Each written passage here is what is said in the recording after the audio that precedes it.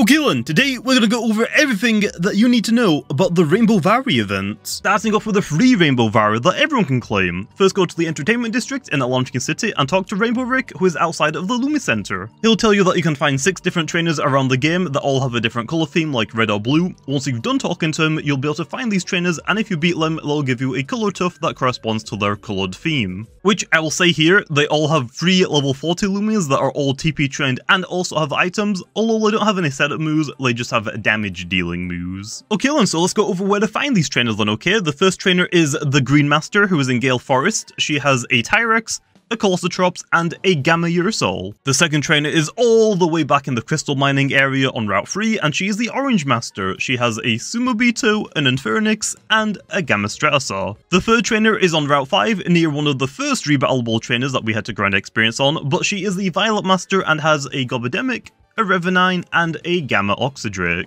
The fourth trainer is in Igneous Hollows, all the way down at the bottom across the bridge, and is the Red Master. He has a Canibo, an Eruptidon, and a Gamma Munchwheel. The fifth trainer is on Route 8, also known as the underwater mining area, and he's the Yellow Master, and has a Luxor, a Zulong, and a Gamma Muchune. And then the final sixth trainer is on Lotus on Beach. He's the Blue Master and has a Meditoad, a Wintrix, and a Gamma Balrog. Once you've beaten all of these trainers and have been given their color you can now go back to Rainbow Rick in Atlanthian City and he'll tell you that you can now go battle the Rainbow Master and if you beat her, she'll combine all of your 6 color into a Rainbow Tuff. You can find her in the Living District in Atlanthian City.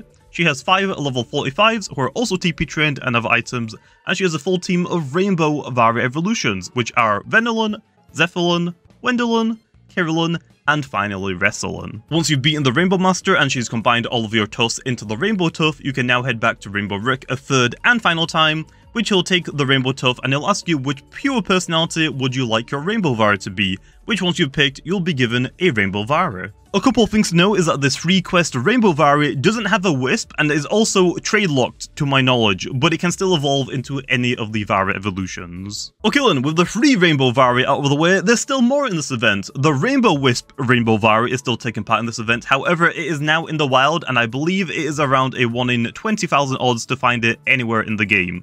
These Rainbow Varis, like I said, have their Wisp, and are able to be traded and also can be evolved into the Vari evolutions as well. But that isn't everything you might have noticed, that there's a new Rainbow Soldier that was next to Rainbow Rick while you're doing the quest. But yeah, Rainbow Soldier is now also in the wild at around a 1 in 1000 odds anywhere in the game. Also, this Rainbow Soldier has got an Alpha and Gamma Gleam version that should be boosted like all of the previous events. So with boosts and game passes, it should be 1 in 64 for the Alpha, and 1 in 320 for the Gamma, instead of the original 128 and 640 odds. And that's everything you need to know about the new Rainbow Vari event. Hopefully this has helped you. If it does, make sure to hit that like button and maybe subscribe. It would really help me out a lot.